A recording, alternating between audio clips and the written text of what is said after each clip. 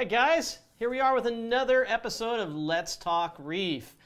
Uh, I'm actually laughing just as I came in here because uh, we're joined by Gary Humphreys, who says, "I just spent 800 bucks. Can I get a shirt or a hat?" uh, I love that these things, these live streams, involve you guys, and uh, you know this is a great format. We're glad to do it. Um, we, we love coming back every couple of weeks and bringing you guys some new content. We hope that you enjoy it.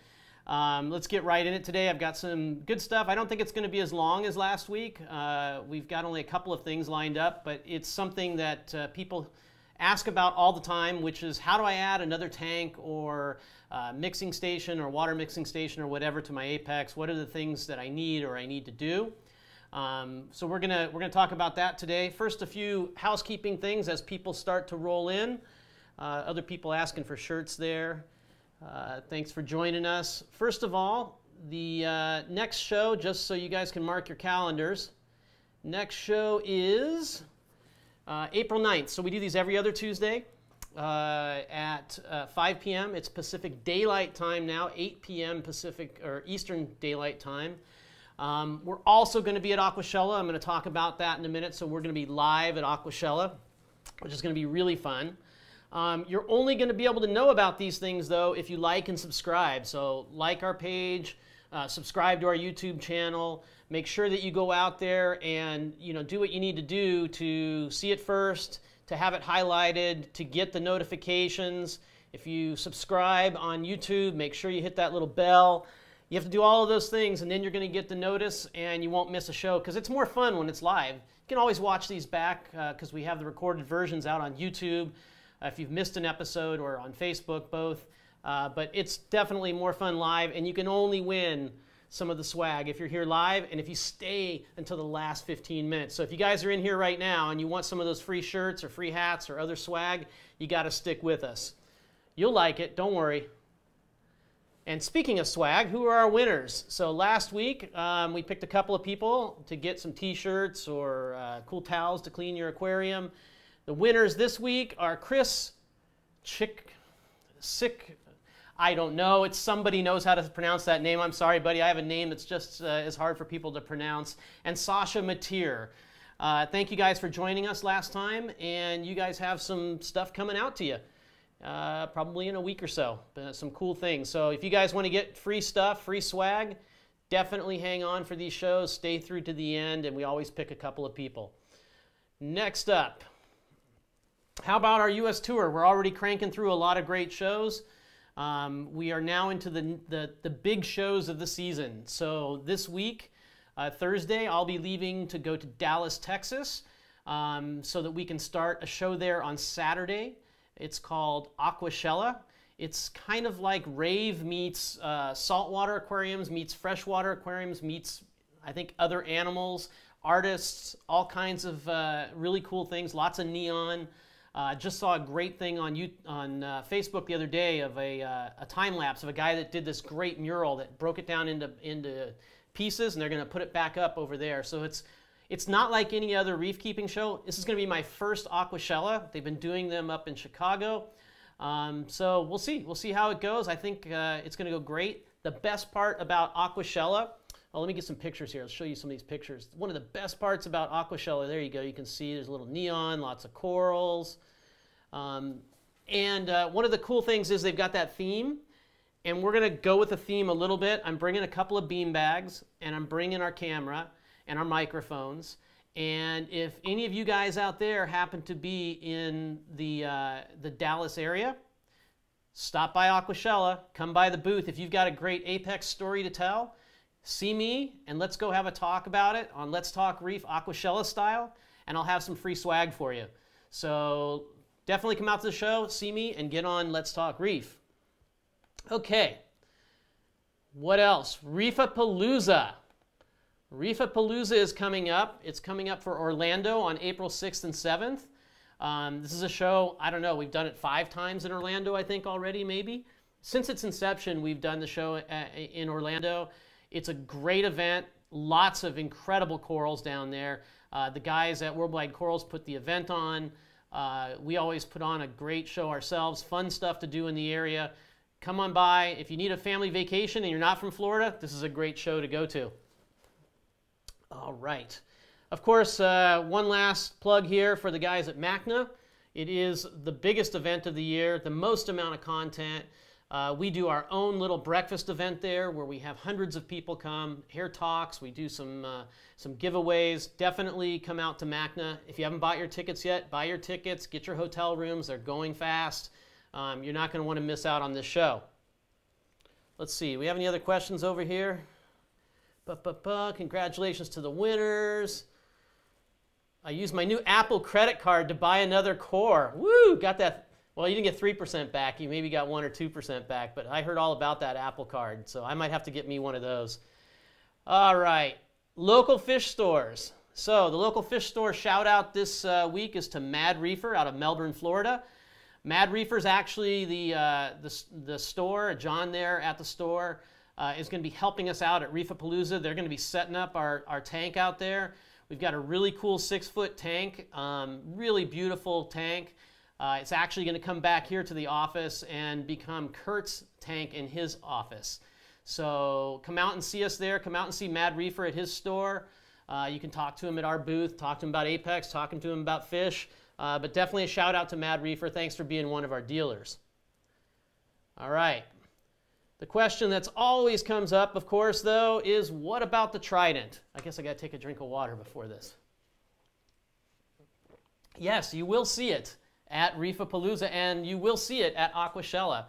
Um, and this week, we've got a whole nother group of them coming out. Wow, I have a picture and I didn't load it up here. Um, I will put it on the thread for this uh, stream when it comes out. I have a picture of a whole cart full of uh, Tridents that are going to be going out to the uh, next group of our NSI, our Neptune Systems Insiders. Um, the results thus far have been really good. The guys have been super quiet because it just works. Uh, and you know we made some tweaks, and we definitely have taken some advantage of having these um, you know high-end reef keepers taking a look at the product uh, way before anybody else and allowing us to make some tweaks. And now we've got another group of people that we're going to be getting them out to. So you're going to hear even more about it. Don't have a release date for you yet. I'm pretty sure that we're going to have a release date announcement not too far off into the future, but I'm not allowed to say anything yet. Um, definitely good stuff happening here at Neptune Systems. And I love my Trident. Man, it's so awesome with the calcium reactor. Gosh, got to tell you. All right. Paul, don't laugh too hard over there. Now, uh, one of the things I like to do on these shows is not just talk about Neptune stuff when, when I get a chance, talk about other things about reef keeping, things that I've found or Paul's found or, or people that we know have found that are going to help you out in reef keeping. Um, one of the things that landed on my desk after Russ gave it back to me after like a year, I loaned it to him. Uh, he's been using it for looking at circuit board defects and stuff. Is this little microscope? It's a USB microscope this is one of the handiest little things that um, I've used in a crunch on a reef tank. And you're probably thinking, why would I use this? This is for inspecting frags. This is for inspecting your corals for all sorts of pests. Let me show you something here. This is a picture, thank you to Meliv, melivsreef.com, a little plug to him. This is one of his pictures taken with I don't know if you use this exact microscope camera or not, but um, these are similar pictures to the ones I've gotten before when I've had red bugs or acro-eating flatworms. You can actually see the eggs, um, you know, egg sacs and whatnot on the bottom of a, of a frag.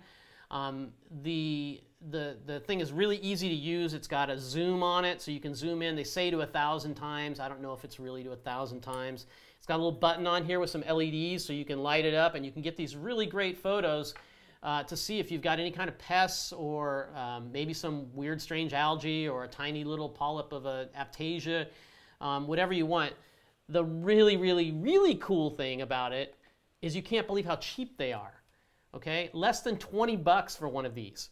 So as far as value and reef keeping and having something around when you don't know whether or not you're going to need it, get one of these. It's just cool to take pictures sometimes too of just the polyps up close, um, get some of these fun photos. So uh, go out to Amazon. There's a bunch of different styles of them. I don't think you're going to go wrong for 20 bucks. And add it to your little uh, collection of geeky toys to go along with all your Apex gear. All right. So next up, adding another tank. So what I'd like, let's see, do we have any questions first?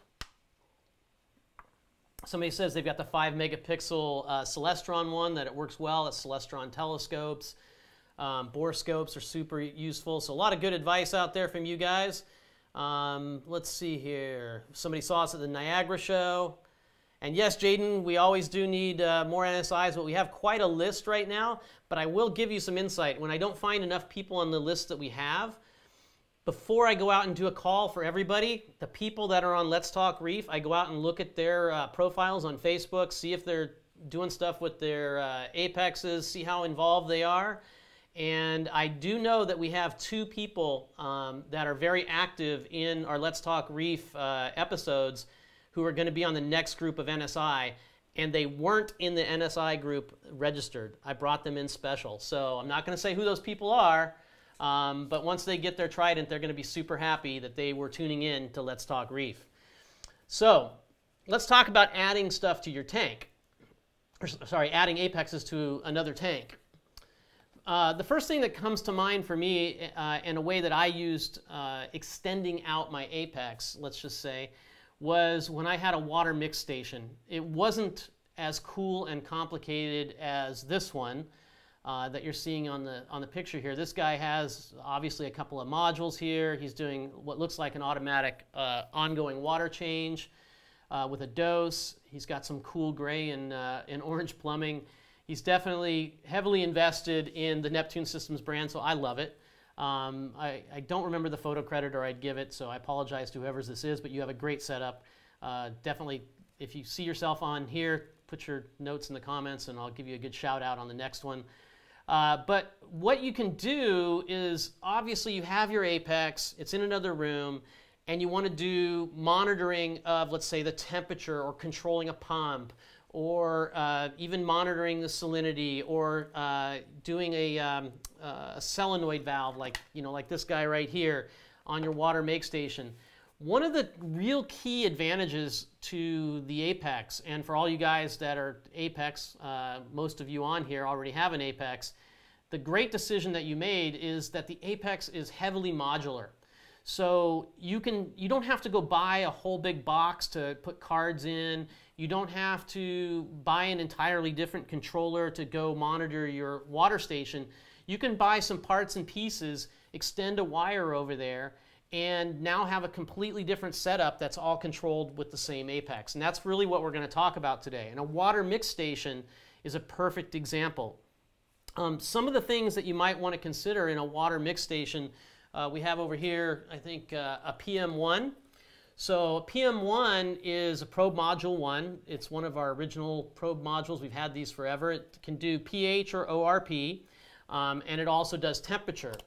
And so number one thing people like to do is to obviously monitor the temperature and somewhat pH as well. Um, but what's really cool is it also has a six input uh, port on here for switches.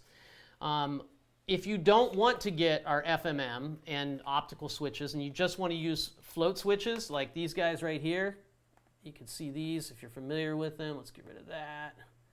Let's get rid of that.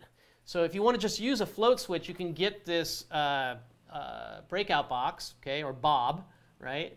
Uh, some people call it, and you can attach these float switches so in your water mix container you can know when the water's high or the water's low, and it goes right into the PM1. Um, it's not a very expensive module. I believe it's $75, and you can for 30 bucks get a temperature probe, and for another 30 or 40 bucks you get the breakout box. So you now have the ability to monitor temperature and monitor some float switches on your water make station. If you wanted to take it a step further, you could get an Energy Bar 4, which I'm probably messing up Paul's setup over here. Maybe I won't show it to you. But you can get the Energy Bar 4 uh, and uh, use that to turn on and off your mix pump uh, uh on the station. You could, for instance, set up a, uh, a cycling mix on there. So, say every hour it just comes on for five minutes just to keep it kind of mixed up. Uh, one of the reasons I suggest the Energy Bar 4 is you probably don't have eight things that you want to connect. Uh, also, the Energy Bar 4 uses all relays. So that means if you have low power devices like, uh, like that use small transformers, like a, a solenoid valve or whatnot, it can switch those and not have to worry about them not getting switched on or off, which sometimes happens with some of the solid state outlets on the Energy Bar 8. Uh, so you can get the Energy Bar 4. It's another $110, I think, or $120. Uh, and now you can switch on and off that pump automatically. It's pretty neat that for maybe two or three hundred dollars, you can add all this functionality to your Apex in another room. Now, when we get to Tech Corner, Paul's going to show you how to, to actually configure some of these things and to set it up in your dashboard. Uh, so we'll get to that in a minute. Like I said, this isn't going to be a super long show today. Uh, next use, though, is very common, is a quarantine tank. If you guys don't have a quarantine tank, um, I highly suggest that you do if you're bringing in fish. Um, there's various, um, obviously, levels of quarantine that people do. Some people do a whole, you know, set of uh, things that they add to the water to kill off things. Other people, like myself, may just leave fish in there for two or three weeks and, and see how they do and observe them and see if they have anything going on with them. But it doesn't cost that much to get a quarantine tank. And once you do, you can monitor that quarantine tank again for just a couple of hundred dollars. You can get uh, the pH, you know, with the PM1 again, with a temperature probe. Um, you can add another Energy Bar 8 or Energy Bar 4 to it. Uh, one of the other things to consider here too, if you haven't already upgraded from the previous Apex, uh, maybe you have an Apex Gold system, which came with the, uh, the PM Module 2 for salinity, uh, and obviously came with an Energy Bar 8. You might want to take that equipment and move it over to your older tank and hook it up to, or sorry, your quarantine tank and hook it up to the new Apex. Uh, without you know really any cost, you've now got salinity monitoring, you've got temperature monitoring, you've got the six switch inputs, and you have an energy bar that you can uh, use for that uh, quarantine tank. Um, very handy. Obviously, having the energy bar and the temp probe allows you to do the temperature control on that tank, which obviously is very important. You've got new expensive fish coming in. Uh, so definitely, uh, quarantine tanks are a really popular thing for people to add more gear to their Apex for it to monitor and control. All right, let's see here. See if we have any other good questions or comments. Uh, Jaden Jan Panetta says, it's nice to be a block away from our office. okay. Well, hey, maybe Jaden, you come in here and want to see us uh, film an episode live when we get into our new space. Oh, that's something else I didn't even mention. We've got some new space going in. Um, I've got a completely new filming room that we have. We painted it a week ago, um, gray and orange and white. Uh, so the next episode of Let's Talk Reef is going to be in the new studio. I don't know that I'll have everything set up exactly the way I want it yet, uh, but it is kind of cool. Let's see here. Other, let's see here. Trident. Somebody said Trident will be a great tool for older reefers above 70 years. What is that? I don't even I don't even get that. I have I have uh, color blindness, so I already get that it's hard to tell the colors. Um, let's see. People talking about the breakout box, talking about uh, the ATK. Okay, no other real questions yet. So if you guys have questions, great feedback. I love getting all the feedback, but if you have a question, um, oh, here's a question from Adam Moore. Let's take this one real quick. Adam Moore says, will the old Apex head unit connect to my new system? No, it will not connect to your new system in terms of you can't take your new Apex and your old head unit and then connect them on the same Aquabus. Um, that said, you can take the components other than the head unit, right, from your uh, Apex Classic, and you can connect those to your newer Apex. So there you go. All right. Next uh, situation, just to quickly touch on it, where you might want to add more gear is a frag tank. So a lot of people add on another little frag tank, or maybe they even call it a quarantine tank for coral. Maybe it's just a place where they store stuff that they're going to trade with their buddies. Um, again, lots of different modules you can add to it. Many times these tanks are, are right close to your existing tank. Uh, but know that even if you have a tank that's, uh, let's say you put a tank in your kid's room, uh, you know, two doors down in the hallway, you can add that one on as well. And we'll talk about uh, how to do that with Paul. Let's, uh, let's talk about some of the gear also. Uh, I talked about enough of that.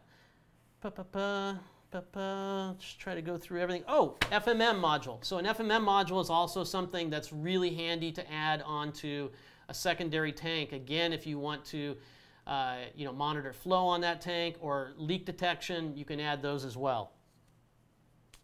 Okay. Pretty much, I think I hit almost on everything, and then we'll probably get into the rest of it all with Paul, because we're going to talk about which cables. I'll talk about those with Paul probably. It's probably easier to do that because um, there's a lot of different cable choices out there for you, both from us um, and there's some from other people too. I think that'll make a good conversation with Paul. Let's see here if we've got one other. Oh, somebody asked a great question here. Excellent question. So glad. Why can't I go over there anymore? Oh, there we go. Question says, is this is Zachary Holtmeyer? Um, thank you for bringing this up, Zach, because I, I want to touch it. Is there a way to wirelessly connect tanks in a separate room. My fish room in the house and the display tank are about 50 feet apart. Um, actually, on the same apex, there is no way to wirelessly connect up modules. Um, it's a conscientious decision, conscious decision that we made uh, to not create a wireless module to module type system because there is too much chance for these things to become disconnected and out of sync and create all sorts of problems when you're dealing with wireless devices. When you're turning on or off your lights in your house um, or your TV or something like that, when it doesn't work, it's just a little bit irritating. Um, when your tank doesn't work or dies because some module didn't connect when it should wirelessly, not something we're comfortable with. Uh, that said, if you have something that is more distant away, many times our suggestion to you, even from a cost perspective, is to get another Apex. I know it sounds like we're, you know, I'm here saying, I'll just buy another Apex. Um, but now with the Apex EL, it's $500. You get another Energy Bar 832, you get the pH probe, you get the temp probe, you get the Apex, and it's on Wi-Fi. Uh, so if you're in that situation, for us, rather than buying you know, a bunch of modules and then being wireless and possibly disconnecting, um, you probably want to go with another Apex. So I hope that, uh, hope that answers your question. Um, another person, Rito Kramer, asked the same thing. Can we get a wireless connection to the garage? The garage is 100 feet away, and I've got a pond. We'll get into some of that, I think, with uh, with uh, with Paul. We got Devin Rich in the house. Thanks, Devin, for coming, man. And what did I see here? Something about Scott Kramer being here. Scott Kramer is in the house. No way. Oh, did I say Scott? No, Scott Kramer. Scott Crow. Scott Crow. Sorry. Oh my God, it's Scott Crow in the house. Anyway, if you guys don't don't watch his uh, live stream, he's got a great live stream up there in what's this live stream called, Paul? Come on, come on. ORA, uh, something. Oh gosh, he's gonna kill me. All right, I guess you're gonna have to have me on your program there, Scott, and uh, and just totally give it to me there. Uh, Chris is on here. He won some swag today. Uh, now lots of questions. Good. So we've got Paul coming in here. I'm going to go ahead and kick it into the corner here, uh, the tech corner with Paul. We're going to put on our famous tech corner music and get Paul in here. Keep on reefing. There it is. K O R. Keep on reefing. Okay, there we go. Good. All right. Let's see. Now let's get into the tech corner.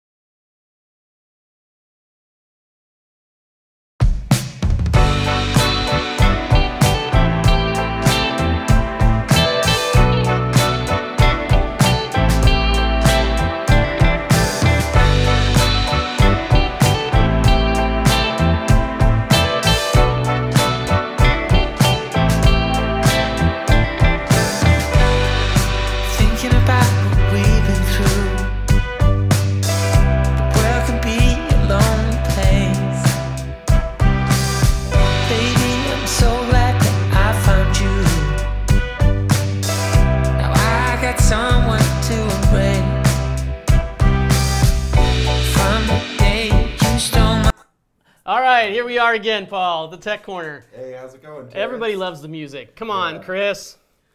Oh man, and somebody said that that was a good Scott impression, so thank you for that. That was uh, Macy's Daddy seven seven seven. I, I thought you were having a seizure for a moment. yeah, it well, good. it's just like, oh my God, Paul, I, tell I us all about it. I love that show. I love it too. The, the, the energy there is. Uh, it, all of our shows, we've got to be talking about each other. You know, we have to. You yeah, know, definitely. it's his it's his gig, right? So, all right. So we're going to be talking about what today, Paul? Multiple tanks, right, Terence? Yep. So you've been chit chatting about here for mm-hmm. a little bit, and um, you know, there's you know, when people want to add multiple tanks to an Apex, right? Um, you know, we're talking about different components and all these sorts of different things, and um, sometimes when you add more components, you're adding more complexity, right? Right, You for know? sure. And so there is whenever you're approaching something with more complexity, there's all there's a better way to do it in which you take out a lot of that complexity. Okay. Right. And so I'm just going to kind of go through some of the things that you do um, in order to make that an easy process that we hope that you'll have. And I think it, like I, I think what I was ending with in the in the last segment before you came on um, with the question about somebody saying you know Wi-Fi and another Yeah. room and there's a hundred foot thing. You really have to consider what is it you want to do in the in the whole big picture. How many modules do you, do you think you're going to add? Yeah. How far is it going to be away? Do I really want them in the same dashboard? Do I want a little extra redundancy because this is a really important tank? Yeah. So there are considerations to have. I mean, we're talking about you know getting modules and things to extend out your mm-hmm. Apex today, but sometimes it's just a better idea to add another Apex. Again, Yeah. I mean, my rule of my rule of thumb is when you're talking about um, adding enough, adding more things, right? I typically don't like to go more than sixty feet, Mm-hmm. right? Unless it's just a water station and maybe you have piping running that way anyways, and you can just run the wire with Okay. the piping. Um, I think it's sometimes better when you add up the cost of the uh, additional mo- of the cabling, right? You add up the modules you're going to purchase. It might be just better to go with the second Apex, right? Right. Um, and I mean, maybe you'll spend a little bit more, but um, I mean, we've seen you some cra- crazy setups where Yeah. people should have split them into two or three different apexes. Right. Because if, if you do have a problem, you do have the lightning strike, or you do have something happen, Mm-hmm. You have everything go down, not just one of them. exactly right. And so, um, and we get we, you know, one thing I do a lot, you know, but don't talk about here that often is we do a lot of uh, research and things like that where we want to replicate the same thing over multiple, multiple, multiple tanks. I'm talking. 40 setups that are all going to be the same. I typically don't put 40 apexes, 40 40 PM1s on one apex. It's Right. just a little bit more than you want to manage. Well, you're talking about we, we have stuff in uh, in public aquariums for quarantine systems, and we Yeah. have stuff in science. We have it at the Frost Museum in um, in Florida, right? They're Yeah. doing scientific experiments with the Apex stuff, and they often come to us and say uh, straight up, "Yeah, I, w- I want an Apex, and then I want to get 32 of these PM1 modules." Right. And we're like, "Whoa, whoa, whoa, whoa!" So you just have to consider this all up front. I think the first thing to really get to people is okay, so. I have my apex here, Mm-hmm. and I, I have my other tank here, and so it's a, there's a point to point that I can go. What's the longest point to point I can go? Well, um, technically about 100 feet. Okay. Okay. Um, I wouldn't ever really go more than 100 feet. And generally, the rule of thumb is when you're doing 100 feet or more, or 60 feet or more, as I say, you always want to make sure that you go from energy bar to energy bar. Okay. So that means the Aquabus cable that's going to connect those two different areas together. You're going, you're connecting that Aquabus from an energy bar to an energy bar. Okay. Does that make sense? So let's say I'm not going 60 feet. Okay. Okay. I'm going 25 feet. Can I go 25 feet to my water make station Mm-hmm. and just have a PM1 there coming right from my Apex 832? Absolutely. 25 feet, I wouldn't be worried about. Rule So, so the idea is, let me just try to clarify. Yeah. Mm-hmm. So the idea is when we get to 60 feet, right? It's a wire. There's voltage going across the wire. You get what's called a voltage drop. Yep. Mm-hmm. At least that's what how Kurt explained it to me. And so what you want to do is each one of these devices, these energy bars, right? They have a transformer in them Mm-hmm. that creates the power for the Aquabus connection, Exactly, right? And so what you need is it's like a booster. Right. That's the best way to think about it. Is it's like a booster. It's the best way to think about it. And you know, generally, if you have an energy bar and you're going distance, just go energy bar to energy bar. If you're just going and adding a PM1, do that, right? If you're adding a dose at the remote location, the dose has power, so it is going to boost that signal the same way. Okay. Does that make sense? No, that does absolutely because it's You got its own little. It's got its own little one of these, right? Yeah, exactly.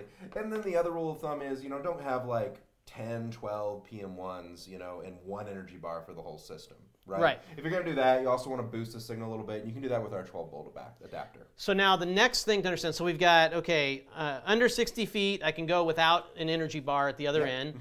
And once I get to 60 feet to 100 feet, I need to have that energy bar there. Mm-hmm. And then I can continue to go up to how far? Like I, I can go from that, you know, like 60 foot. Now I can I go another 50 feet, Yes. and then I can go another energy bar there. Yes. And then I can go another 50 feet, right? Yes. Okay, up to that- 200, right? Yeah, so I was about to say that. You can have 200 feet of cabling total in, Okay. in one system. Okay. So at the point that you get to 200 feet of cable, right, that system is maxed out. So if you have three 60 foot runs in that system and you're going energy bar to energy bar to energy bar, you have 20 more feet you can work with. Okay. Okay? All right. Well, this this is good because I think this these are some of the like hard facts that we get a lot of questions on that people want to know. Right, and I think Any energy bar will work too, right? And an energy bar four or an any energy, bar, eight. Basically, any Aqua device, any Aquabus device that has power, right? Okay. So the FMM module. Oh, really? That yeah, too. Hey, guess what? It has a power supply. Oh, that's right. It's going to boost it, right? Yeah, you so get any, one of these in. any device that has um, uh, any any device that has that can do that. Um, and so uh, generally, also when you're working with this kind of cable, Terence, Mm-hmm. right? I don't suggest to put that cable into the wall, right? Hide it and everything like that before you test it out. Okay. Right. So the second part of the thing to consider when you're doing these remote stations is don't get everything nice and pretty. And some of again, I am constantly amazed by you control freaks. Your setups just blow my mind sometimes. Yeah. Right. Like I'm. I, There's no doubt. like I. I The I- wiring, the plumbing, Right, everything. Exactly. And uh, so don't make it all pretty and everything before you test things out. Before you put that 60 foot cable into the wall, right? Right. Um, make sure that that 60 foot cable works. Hang on one second. So somebody says we got to turn up a mic. I don't know whose mic would need turned up. It I looks think, like it's we're. mi- I, think I, I think I heard mine. Oh, is it yours? Yeah. Okay. You wanna go? I'll go do it. It's okay. We're live. It's no big deal. We'll turn up Paul's mic for him. He doesn't talk as loud as I do. All right. Test, test, test. Is that better? Go, Paul. Test, test, test, test. Test, test, test. Nope, you're dead. Am I? You are dead, man. All right, this is live TV. Don't worry about that. Yeah, you're muted there, Paul? Paul, you want to switch that mute switch? No, the receiver's off. Oh, look at that. Okay, it's okay. It's live TV. Hey, Sorry, guys.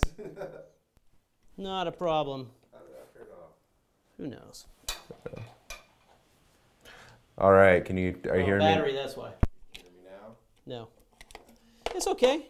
C- Entertain him, Paul. Come on, even without a mic, you got my mic. Dancing, dancing, Terence.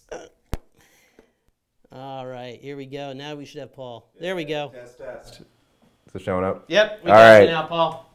So here's here's, I like, I like how you. live hold on. 101. Hold on. I like how Terence like you didn't. You muted it. This is you. You did that, right? Well, it's so never happened before. yeah. This is live streaming 101. Live streaming 101. Check the batteries and the wireless transceivers. all right. All right.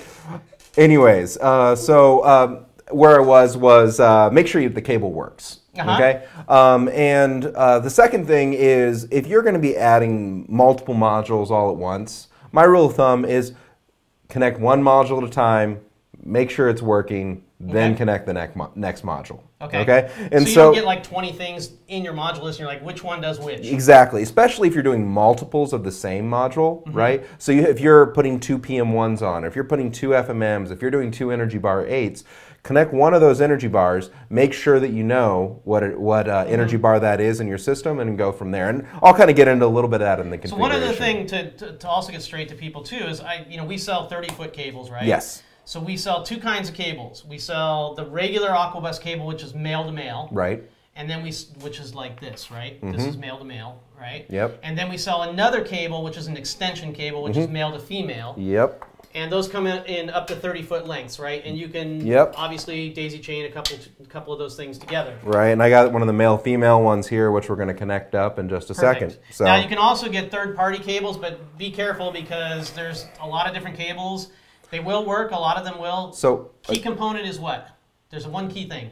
They need to be passive cables Right. with no repeaters. Right. Okay? And so if you go to Best Buy and you buy that 10 foot USB male male cable or that 15 foot Best Buy USB male male cable, it probably has an amplifier in it. Okay? USB operates at 5 volts, Mm-hmm. Aquabus operates at 12 volts.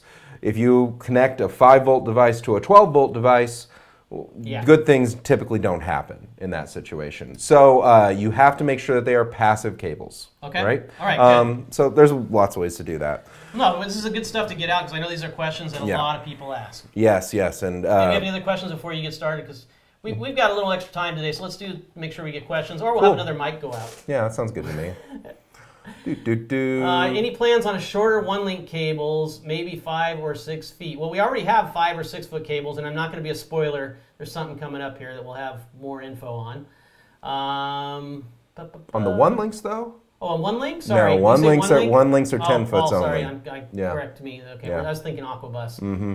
No, one link cables come in six foot, right? We have ten foot. Ten foot. Yeah, so you get a, on on one link cables, you have a male male one link cable um, that's ten feet, and a male female cable that's ten feet. Okay. So uh, unfortunately, you just got to bu- bind it up a little bit. That's a- 180 foot custom cable in Miami, Florida. Uh, yeah, you're living on the edge. Uh, so, Chris, um, I would recommend honestly to put some device in between that 180 foot cable and boost that signal. Um, you may be okay today, but in a year or two from now, you might be having some issues. Yeah. So, Uh, let's see here. Ah, here we go. This is there's a couple of them here. Uh, same question. I saw this one earlier too. Uh, this is definitely. Can you actually make Fusion have a separation for the expansion or second tank? Well, we're going to talk about how Paul arranges these things on here.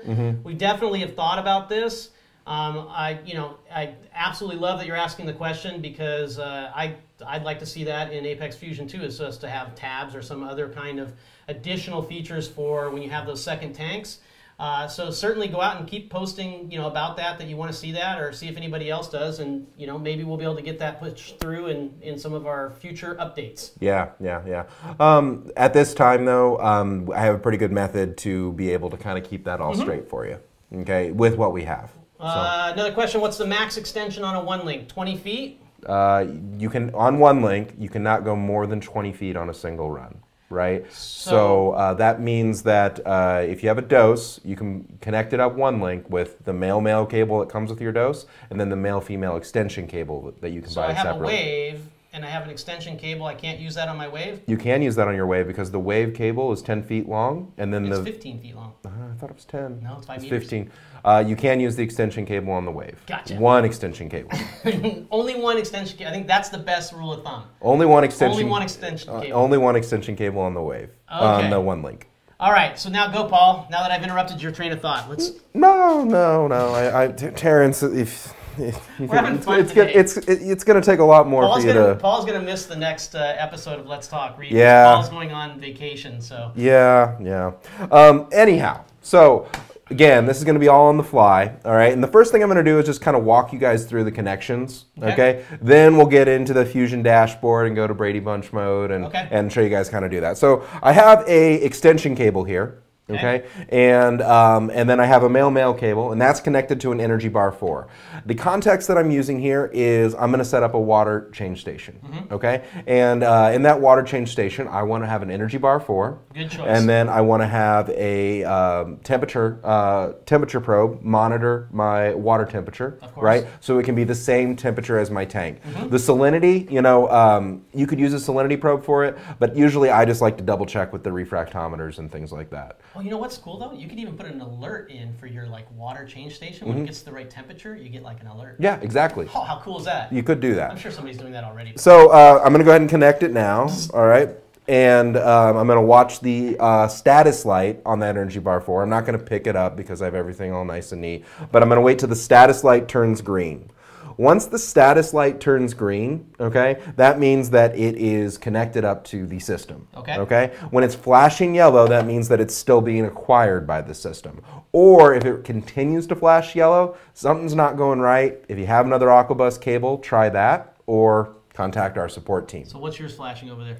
Uh, this one is now solid green. It's ready to go. Okay, good. Okay, so then the next thing I'm going to do is I'm going to connect up a PM1 module. Okay, Uh-huh. and this is when I would recommend getting one of our one foot Aquabus That's cables. what I was talking about. Okay, the one foot Aquabus cables are great for wire management purposes. Um, when you're basically you have all of your modules on a board or something like that, they can all be close to each other. There's a three foot cable that comes with the PM1. Right, but the one foot, ca- and that's going to fit most people's needs. But when you, when you're really trying to make it look good, you might want to pick up a couple of these. Boards, and you want to connect things together, like make it look clean. You get those one foot. The cables. one foot cables can really do that. I think we had somebody asking for like an eight inch or six inch cable. Yeah, I, we have been asked for a six inch one, and I just don't think the market's there for that. You know, Oh, you'd be so surprised. so uh, and then I'm generally what I like to do for connection too, Terence, is I like to try to connect everything up to my energy bars, Okay. right? So I always want to go direct to the energy bar. So you like a star configuration as Yes. opposed to a daisy chain configuration. Yes, and the reason being is I feel like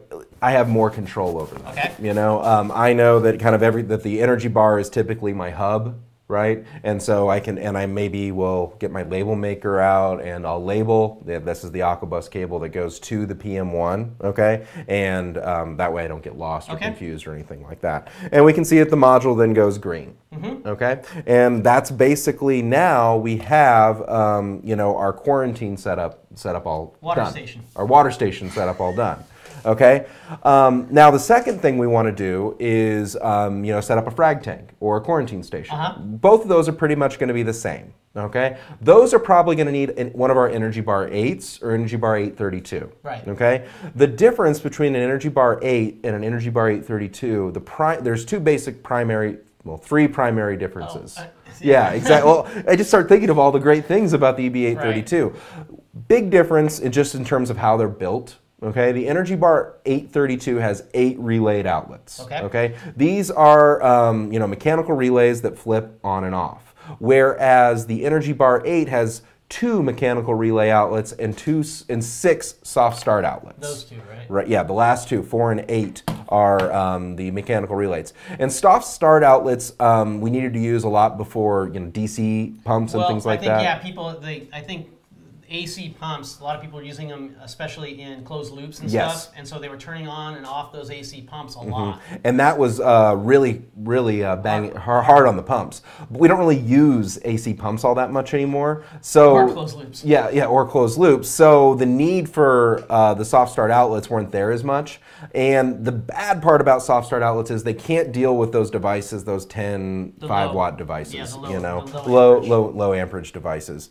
Um, so the other big difference between the Energy Bar 8 and Energy Bar 832 is you get power monitoring per outlet Mm-hmm. on the Energy Bar 832, which I like to say is kind of a crystal ball into terms of how my equipment is running. Right. You know, which I've gone through power monitoring in the past. on that. We did exactly. So I'm not gonna go into that, but um, I love that feature, Oh, um, yeah. knowing what it is. And then finally, you have a one link built into the E EB832. So if your device needs dose, if you need one link, if you need a return pump on that quarantine tank, uh, you know, you already have a one link module there where you can There's a add. lot of stuff involved. Yes. Although Rosano here says not enough ports on the energy bar for too many connections. Yes. I think maybe he's talking about the Aquabus. That there's There's three. There's three on the energy bar 832, and there's six on uh, Energy uh, Bar 8. Energy bar 8. Yep. Um, but again, in that situation, you could just daisy chain Daisy it. chain. But that's, That's just a preference of Paul's. Yes, that is just a preference of mine. And so in this situation here, though, I'm going to go ahead and connect up the Energy Bar 832 next. It doesn't So- mess it up, Nancy. Don't worry. She says this is gonna something gonna go wrong if she daisy chains. the No, no, it, it doesn't. So Aquabus is Aquabus is Aquabus. Yes. It doesn't matter where you connect it. People always are worried of uh, disconnecting it and reconnecting it, turning off their apex, you know, any of these things. No, the, the, the system remembers, you know, what that device It's is. It's just a Paul preference. Yeah, that's that's all it is. uh, so I'm going to connect that other energy bar, and what am I? And let's say if that was 60 feet away too. Okay. I'm going to go make sure that I plug the Aquabus cable from my Energy Bar 832 into my Energy Bar 8 into my uh, Energy Bar 4. Right. So you go energy bar to energy bar. Again, Exactly. you want the long lengths. You want to you go from your energy bar at your apex, the long length, and then the next thing that you connect it to should be another energy bar. Exactly, exactly. Okay. And um, on the Energy Bar 832 in our new devices, um, orange is the new green. Ooh. You like that? Yeah, orange is the new green. So uh, when the status light goes solid orange, um, you know that it is connected and it is working Okay. the way that it should. Okay. Now on that other tank too, I'm going to also add a PM1 module, but I don't want to add that yet, Terence. Okay. And the reason why I don't want to add this PM1 module yet is because I already added that for my water for my water mixing station, and I need to make sure I know which PM1 Mm-hmm. So is which in my configuration. One at a time. yeah. And so just to kind of get started, so now we're kind of to the configuration point. So this is a good spot for me to ask you another question, if Great. you don't mind. Yeah, please. Okay. So- So, how many modules can I have? Because I know my dose is two modules, Yes. right? Well, Okay. no, it's No, one. it's not. Oh, it's one. Dose See, I get one, confused yes. all the time. Dose is one module. Uh, waves are one module, right? Mm-hmm. Is anything two modules? Uh, no, nothing is two modules, No but single device it gets. two modules? Uh, but I mean, it gets a little hairy, like when you're talking about a wave starter kit. right? Okay. So that comes with two waves and a one Ah, link. there you go. So that's right? three modules. So you get the function of two waves, but the one link is the module that you Got connect those waves with. Got it. Right? So if you don't have an EB832 and you want to add waves, the Wave Starter Kit is the solution to do that. okay, so how many do I get? How many can I put, can I put on my system? So um, the version of firmware that is out there right now allows 29 in the firmware. Okay. Okay. But um, there is a new version of firmware that's going to be coming that Ding, will ding, add ding. that will add uh, 50. Okay. If you are at 29 and you want to add more, Hold on, hold on. Is it 50, but one of those is the apex, so it's really 49? It's 49. Thank you, Terence. so, um, so uh, if you have 29 modules now and you want to go to 50, do that. Could the system handle more? Absolutely, but it's again, it, it comes back to that point of manageability, right? And at the point you're at 50 modules, I don't feel that that's manageable. Exactly. anymore. Look, Nancy even said only 29. LOL, LOL. Well, I mean, it's adding up real quickly. There were some questions earlier about IOTA and things like that. Uh-huh. So each IOTA device you add is a module, Right. right? So if you have you know eight primes over your tank, well, there's eight modules right there, Mm-hmm. right? Um, and you know there that's was a good point, too. Those are modules as well. Yes. Every IOTA device is its own module. yeah, and it. you know there were some questions earlier too. Well, how come you know we have IOTA, which is wireless? Mm-hmm. How come you know we connect up to the Ecotech stuff, which is wireless, Mm-hmm. right? Um, you know, again, right? That is uh, well, going it's a with choice of somebody else's device that Right. exists. So if it exists already, And and with that being said, you know, I get home, I say, you know, turn on my lights. Sometimes one of my little outlet Wi-Fi switches aren't, isn't connected to my network anymore, Right. right? I the only way that I can make that right is to go unplug it and plug it back in again, right? With a heater, I don't want to have to worry about unplugging and plugging it back in again for control. Oh, yeah, yeah, you know, so for lights and things like that, I think it's okay. You know, for pumps, I'm even a little bit more wary, but um, you But know, I think we've got very few people that are going to hit the 49 mark. We Yeah. do have some out here. Chuck Lee says, you know, he's like, oh, you run out quick. You do. If you're like some of our control freaks, and we love you, um, and you get to 49, you know, start letting us know, and we're going to see what we can do Mm-hmm. uh, to make it happen. But for right now, it's 49 modules. And uh, let's go to Brady Bunch mode and see what you're going to do on here. great, sounds good. Alrighty. Okay, demo. Here we go. Yay, okay. worked. So um, once you add a bunch of new devices, Mm-hmm. okay, um, you're going to get this feature right up in the right-hand corner, right, where it shows new tiles. Right. Okay, this lets this lets you show um, where um, uh, where these tiles are stored until you put them on your dashboard. Okay, so right now this It's like your quiver of Apex goodness. Exactly. Um, so right now, right, you can see that um, you know this is a just a one tank system. Mm-hmm. Okay. So there'd be some things I'm going to do right off on the ma- on the beginning to kind of make it a a three tank system, right? Because we're adding the water mixing station and we're adding the um, you know frag tank. Okay. Right. And so the first thing I'm going to do is I like to um, essentially kind of move everything. A, get rid of the things I'm not using. Declutter. Declutter, yes. So get rid of the things that I'm not using. Uh, you can see that this dose is right here. I like to keep those kind of at the top. I like to move my. So I think another good point, Paul, Mm-hmm. is what are you using most to access your uh, Exactly. your dashboard? That's a key component, I think, because Yes. if you're always accessing it in portrait mode on your mobile phone. You're in a situation where you have one column, Mm-hmm, right? If you're using it on a tablet like you are right here, you might get three columns, you might get two columns. Yes. And so generally what I like to do is I like to keep my probes over to the left-hand side. And I like to keep all my probes over at the left-hand side, okay? Um, in this setup here, I'm going to put my tank information right at the top, right? My tank temperature, my tank pH. Obviously, this isn't a system set up, but, um, you know, and maybe get rid of the things that I don't really care about, um, you know, in terms of watching them all the time. Maybe I do, and if I ever want to bring those back out again, I can just see those up in my unused tile bin. Right. Okay. Um, and then the outlets control. I typically don't put outlet control in a place that it's super available, right? Because most of my things are all going to be automated through my feed cycles. Or if I do have a few outlets that I do control on a lot, right? Mm-hmm. I'm going to keep those right at the top. And those are kind of things that do multiple things. Yeah, if Does you're not using sense? it very often, declutter it, right? Right, Because also you have an opportunity of, of inadvertently turning something to on or to off. Yeah. You know, if it's down there on your dashboard. And then, um, and then basically right from here, we can see the devices that are all new. So here's that temperature on that PM1. So this is going to be my water mixing station temperature.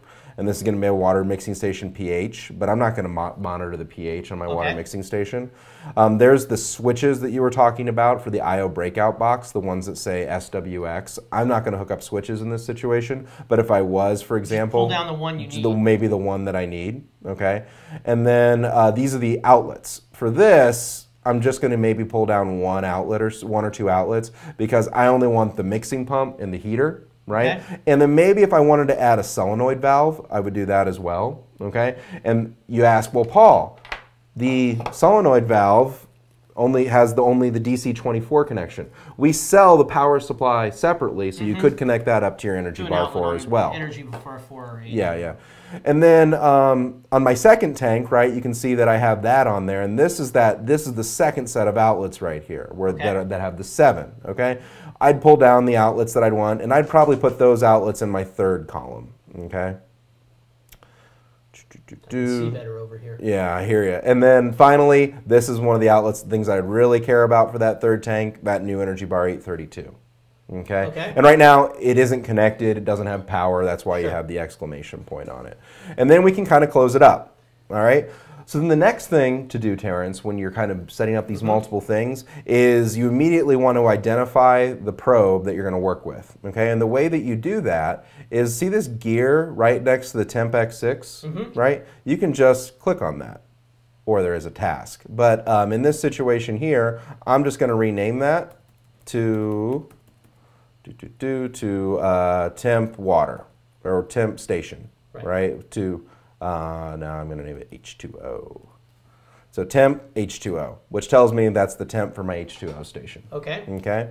Um, you don't need to calibrate it. You could if you wanted. If you had a NIST calibrated thermostat, you could calibrate against it. We do. Uh, we do. We do calibrate those before they go out.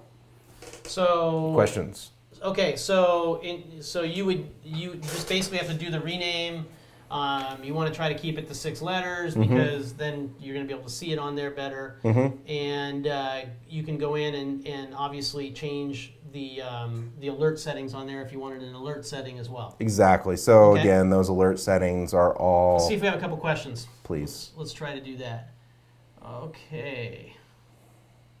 Somebody, look at that. This is uh, Joa, Joa Pedro Fonseca. I hope I said your name correctly. From Macau. Awesome. Uh, it looks like somebody that's Portuguese that's living in Macau.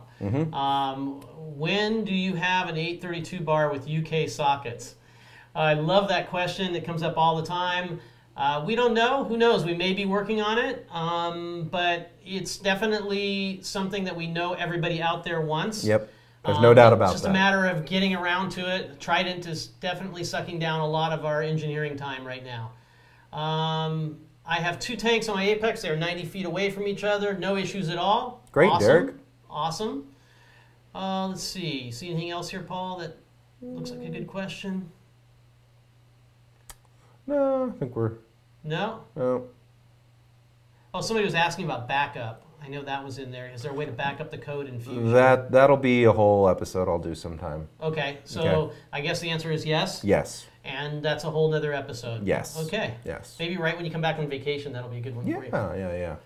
Uh, bu- can we talk about controlling the hydrolytes? We can do that in another episode as well. Yeah. Um, oh, are you going to fix the renaming of probes or switches on the Apex Classic? I don't understand what that means. So I think exactly. he, he wants to rename his probe and his switches in Apex Fusion. Okay. Right. That's a feature that's only available on the new Apex. Um, again, guys, it just comes down to resources in the Apex Classic, mm-hmm. right? There isn't, I don't know a better word to say this, Terence, but there isn't a lot. There, it's it's it's it's old tech and it's maxed out, right? We yeah. have put as much as we can into that Apex Classic. And how old? How old is the uh, Apple Watch? I have no uh, what 2000- 13. Yeah. So the Apple Watch is I don't know five six years old. Have you used a Have you used an Apple Watch I, One? I did have an Apple Watch One. Have you, and have you tried to use the Apple Watch It's so one? it was so slow. It was so, so, slow, and I mean I couldn't use it anymore. You, so that's what know? I mean. Technology yeah. moves on, and the classic works great but there are going to be some setback, setbacks, you know, Yeah. compared to the, the newer one for it- sure. It's just it's we've we've done everything we can with what's available. so one of the ways I know also people like to organize on the um, the dashboard, if they're using three columns all the time, Mm-hmm. they'll put one tank on every column, yes. right? Um, Go ahead.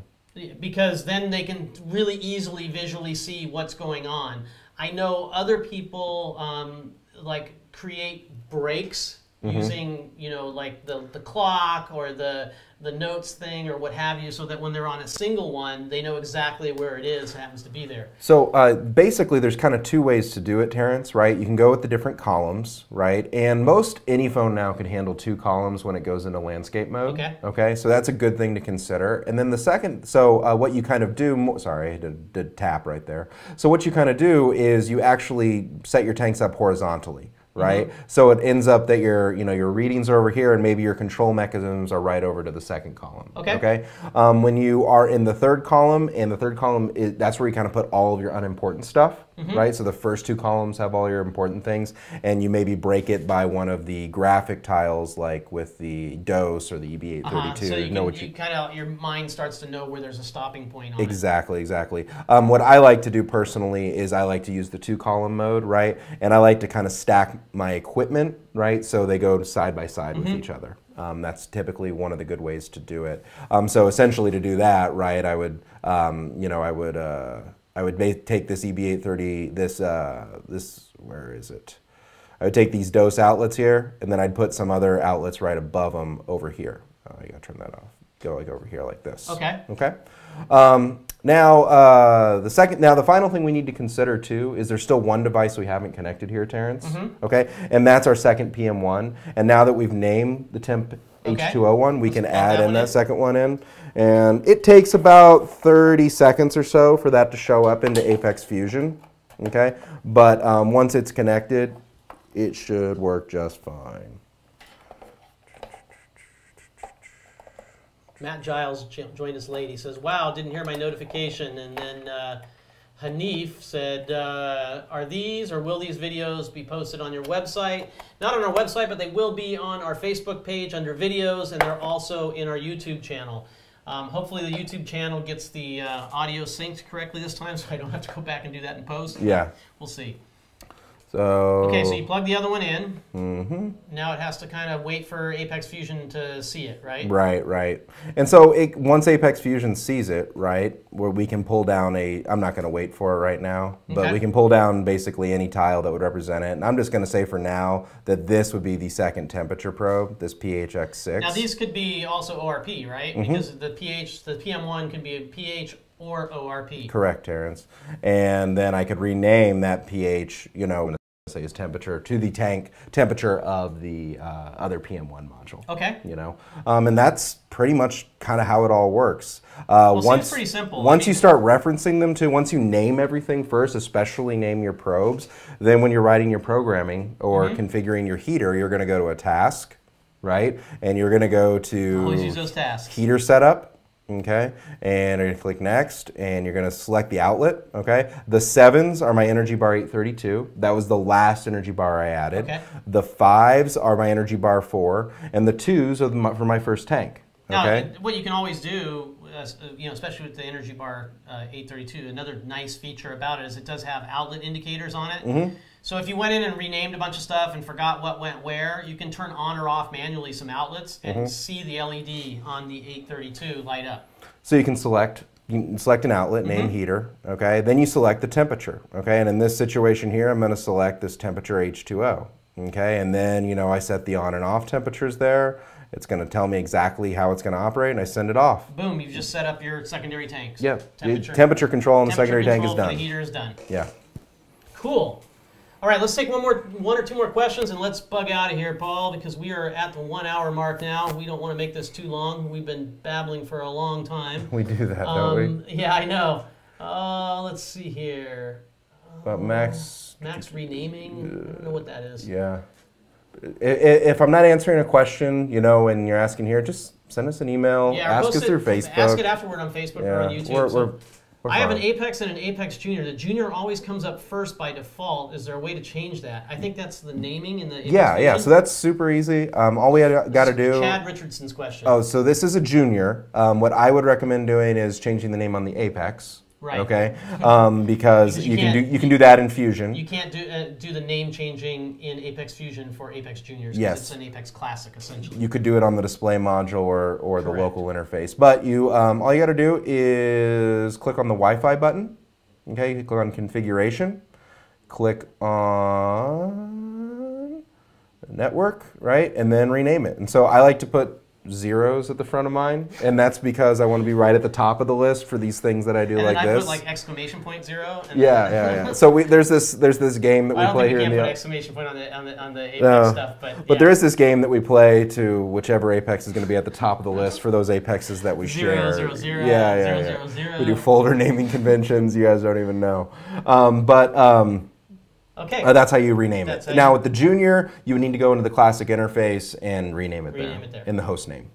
I think that's it, Paul. We're going to close this one out, Okay. man. I hope this was a great episode for you guys. Again, April 9th, we're going to have our next Let's Talk Reef episode here in the new facility that we have, and we've just expanded on to the next uh, part of the building over and have a new studio. It's pretty cool. Um, on top of that, we're going to be at Aquashella and at Reefapalooza doing a little thing right at our booth for Let's Talk Reef. So if you have an Apex story, you want to talk about your tank, you just want to talk about fish, ask questions about corals, I'll be there doing interviews. If you sit down with me at Let's Talk Reef, I'll have some swag for you. It's going to be a great event. Uh, Aquashella and Reefapalooza the next two weekends. Thanks so much for joining us here, guys. As always, um, questions, you can put them, uh, we'll get them after the fact. I try to answer all of them that I possibly can. And join us next time and let everybody know. Share it. Yes. Sharing's caring. Yeah. All right. Thanks so much, guys. And, uh, you know, enjoy those fish. Thanks, guys. Have a good one.